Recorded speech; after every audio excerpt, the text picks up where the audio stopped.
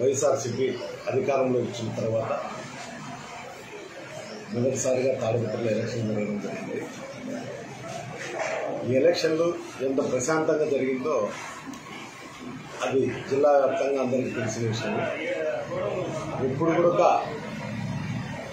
Election అనేది ప్రజాస్వామ్య పద్ధతిలోనే జరగాలనేది నా అభిప్రాయం.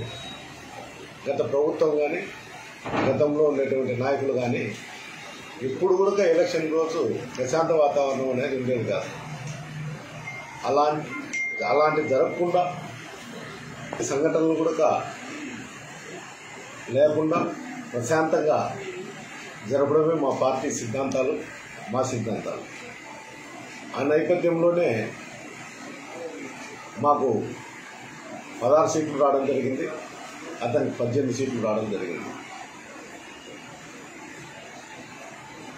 అతను క్యాంప్ ఎత్తకపోయి ఓన్లీ ఫ్యామిలీ మెంబర్స్ అందరినీ అతని క్యాంపులోనే పెట్టుకొని సభ్యులు మాత్రమే తాడిపత్రికి తీసుకొచ్చి ఇక్కడ ఎవరున్నా కానీ మీరు పొరపాటున వైఎస్ఆర్సీపీకి మద్దతు తెలిపితే మీ బంధువులందరినీ ఆడున్నారు మీ తల్లిదండ్రులు మీ భర్తలు అందరూ వాళ్ళని అతమార్చే ప్రయత్నం చేస్తా అని చెప్పడం జరిగింది.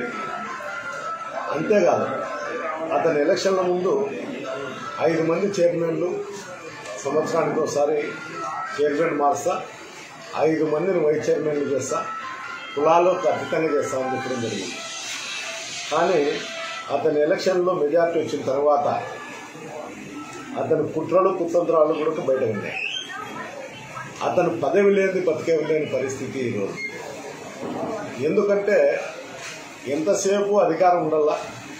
అధికారాన్ని అడ్డం పెట్టుకొని దౌర్జన్యాలు హింసాత్మక కార్యక్రమాలు చేయాలనేది అతని ఆలోచన. ప్రజలు ఇప్పటికైనా మమ్మల్ని తిరస్కరించిన దానికి మేము బాధపడడం లేదు. ఏ నాయకుడు ఏ విధంగా ఉండాలనేది ఒకసారి ఆలోచన చేస్తే మంచిది. అతను ఎన్ని అబద్ధాలు అన్నాడు సేవ్ తాడిపిత్రి అని సేవ్ తాడిపిత్రి కాదు కానీ సేవ్ చేసి అన్నింటి వరకు బాగుంటుంది. మా కుటుంబాన్ని మమ్మల్ని మీరు కాపాడి మీరు ఇబ్బందులు గురవుతారండి అనే ఉద్దేశం తప్ప రెండోది లేదు. అంతేకాదు దీనికి నిదర్శనం వాళ్ళు విజయం సాధించిన తర్వాత దీనికి నిదర్శనము. చుట్టుపక్కల రూరల్ మండలంలో ప్రతి గ్రామంలో కక్షలు కార్పణాలు లేపేదానికి తయారైనాడు.